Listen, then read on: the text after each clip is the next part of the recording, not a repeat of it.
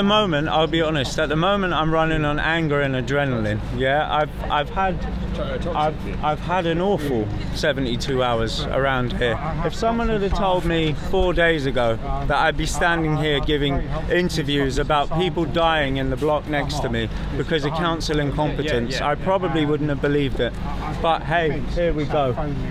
You know, at least though I will say, one thing that one thing that does comfort me is that our local councillor, Councillor Lasharie from the Labour group, she's someone who is also going through this with us. So at least we know there are some people in politics who understand that, you know, the pain and suffering that local residents are experiencing at, at the moment. I very much doubt Councillor Paget Brown does. You know, I don't know what his address is, but I bet you it's W8. I guarantee. In fact, you know, I get. I bet you it's W8 if it's in the borough at all. You know, that's assuming. That's assuming he doesn't just fly in to, you know, run the council around here or whatever it is he does.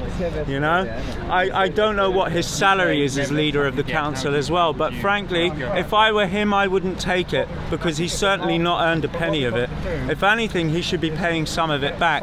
I would suggest to Councillor Brown and the rest of the Conservative group that they visit Just Giving and they look for the Lancaster West appeal to try and help the people from that tower block who are never going back home.